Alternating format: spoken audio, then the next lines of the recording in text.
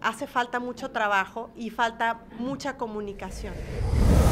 La alianza Fuerza y Corazón por Jalisco, que une al PRI, PAN y PRD, ya eligió a sus candidatos. Teresita Marmolejo a la alcaldía de Puerto Vallarta, Sandra Quiñones a la diputación local, Gerardo Miguel López Villaseñor la Diputación Federal por el Quinto Distrito. Fue este sábado cuando la misma presidenta del Comité Municipal del PRI, Teresita Marmolejo, anunció su registro. En su momento también sonó el nombre del empresario Arnulfo Ortega, presidente del Consejo Coordinador de Puerto Vallarta y Bahía de Banderas, pero finalmente la candidata será una mujer. También trascendió que quien competirá con la Diputación Local del Quinto Distrito será la abogada Sandra Quiñones, quien ha estado involucrada con colectivos feministas durante los últimos años. En cuanto a la Diputación Federal, será el empresario Gerardo Miguel López Villaseñor, quien fue funcionario en el sexenio de Aristóteles Sandoval, el que sea el abanderado.